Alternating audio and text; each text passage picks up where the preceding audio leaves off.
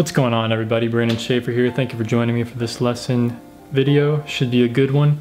Here's a close-up of the finished painting. Just so you know what it's going to look like and uh, what the lesson is all about today.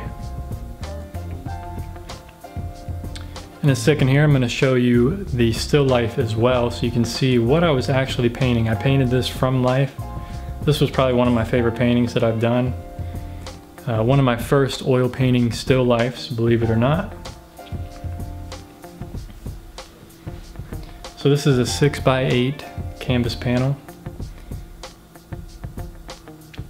And I'm starting out by sketching the composition, figuring out what the composition is going to be. So I put in the line of the table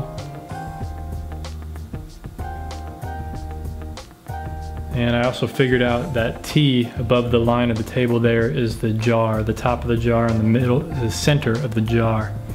And I'm just sketching out, I think at the time I was using burnt umber and just a little bit of Gamsol or some kind of paint thinner.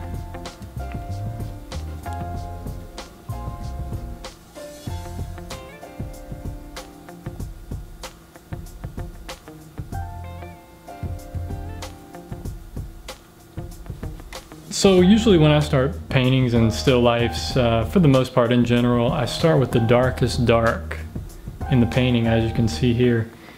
And then I slowly work my way out of those darkest dark shadows into the lighter shadows. And then some, but you know, it's a general statement. So sometimes I'll put in the darkest dark and then I'll put in like the most saturated color. And then maybe the lightest highlight or like the lightest light color.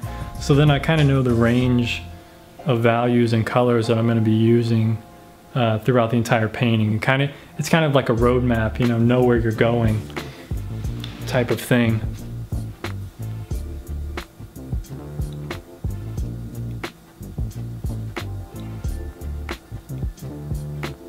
You know, the type of brushes you use are up to you.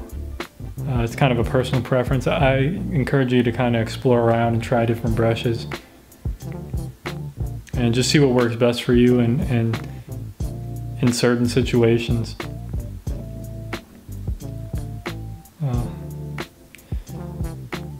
so now instead of going, instead of working out of those dark shadows, like I said, I went straight to one of the most saturated colors, which is this lemon.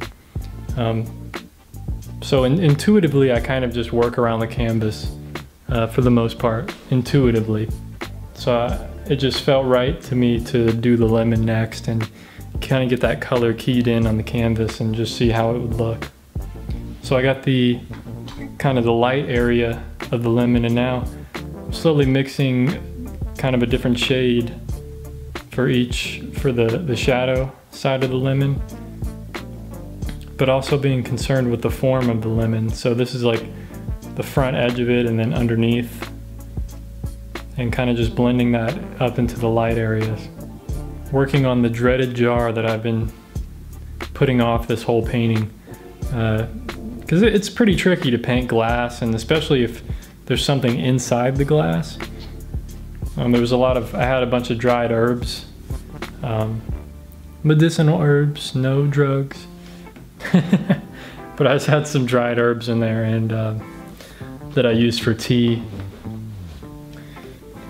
and uh, just made it difficult. So this is the part of painting that can be pretty tricky. Tweaking the mandarin slice there and also its reflection and the reflection of the mandarin itself. Trying to get that reflection to just shine a little bit stronger.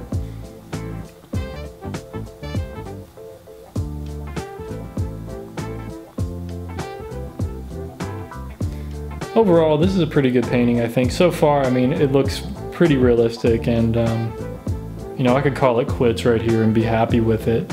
Uh, but I think just a few more minutes uh, that we're gonna see here will kind of bring it to life even more.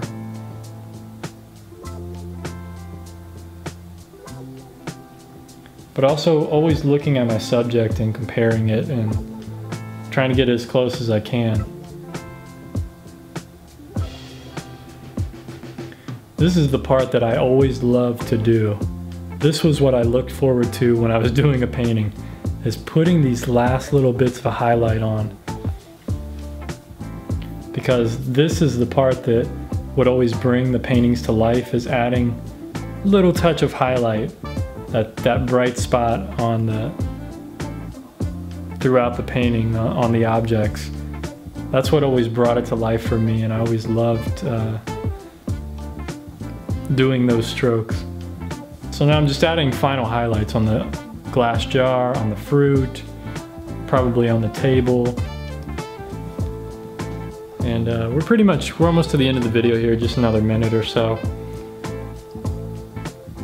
But I hope you guys enjoyed this tutorial. I know it's an older painting I've done a few years ago, but I hope you enjoyed seeing it and learning something from it. If you have any suggestions for other videos you want me to do, any kind of subjects, just let me know and uh, I'll see what I can do. Here's a look at the uh, finished painting once again in just a few seconds. Anyway, take care. Peace.